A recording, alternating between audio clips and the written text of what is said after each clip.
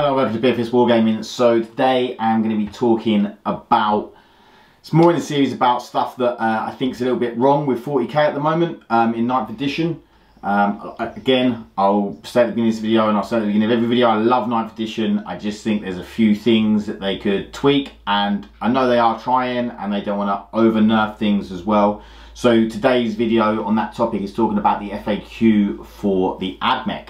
So in that FAQ, they took the core keyword away from the Iron Star Ballistari and the Dragoons, also known as the Chickens.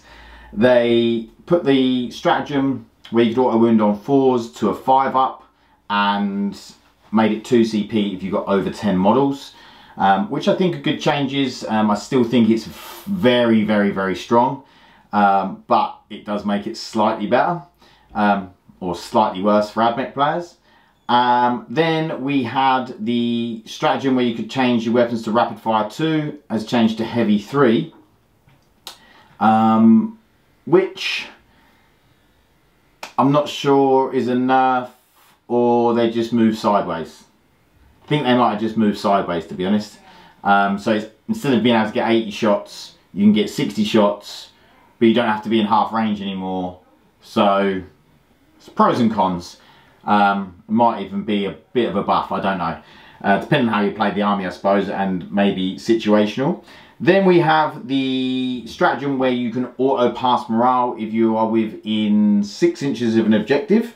That is now once per game, rather than just being able to use it every turn, uh, which I think is uh, was much needed. And the other one was the uh, one of the dogmas you can get plus one to your save if it's a damage one weapon but you don't get that if you're already receiving the benefits of light cover. So trying to make them slightly less durable. Now um, what do I think about the FAQ I think that they have made a very very very very very small dent in something that is or as you can see from the win percentages in tournaments, is very, very, very strong. So taking the core away from the Ironstrider Ballistarii, which I think is a, is a, was a good move, definitely. It does decrease how efficient they are. I do still think they need from the base model a 10 points raise. I might be wrong. This is just what I think. And then as far as the all of the other um, FAQs or nerfs, shall we say, are to do with the Rangers and, and the Vanguard. And in my opinion, if you take them down to, I think these were definitely needed, and I still think they should be capped at 10.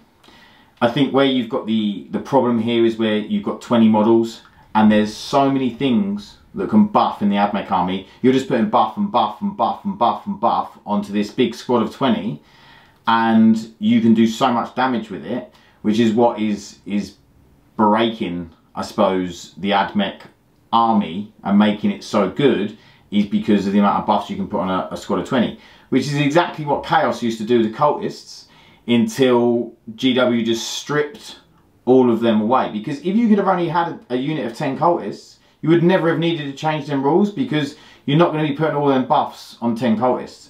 But when you had 20 cultists, um, or you could just literally stick so much stuff on them and they would cause absolute chaos because they were chaos.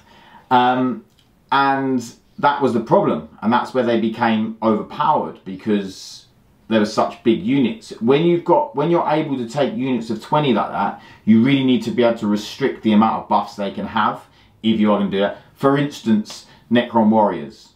20, 20 warriors, they've got some good weaponry, but you're really restricted on how many buffs you can put on them.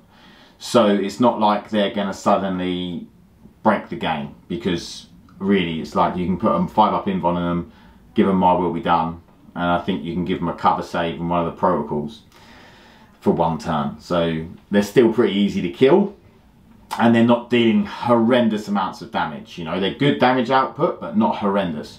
Whereas when you've got 60 shots, that you can then increase the range, you can add minus one to the AP and all this and you can be auto wounded on fours, you're reliably getting 40 wounds into something like Magnus, like, it's pretty crazy.